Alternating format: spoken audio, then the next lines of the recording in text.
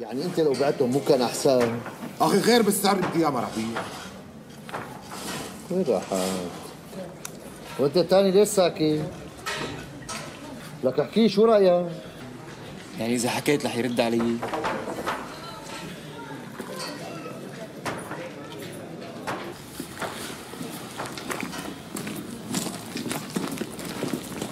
هو معلم وائل مو معزة القصة شو القصة؟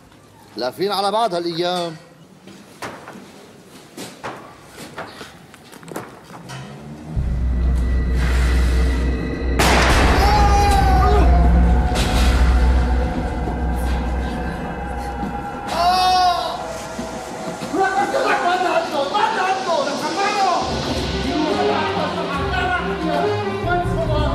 Yeah. آه!